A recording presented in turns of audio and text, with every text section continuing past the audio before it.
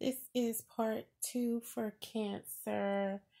You'll be right on target when it comes to helping someone by collaborating um, on a design of something that has an air sign in mind of Aquarius, Gemini, or Libra. And this is something that fate has you thrust in the middle of so that things are going to be on point in some way, things are going to be improved, and it is going to present a an opportunity for you to grow and develop more and become even more content.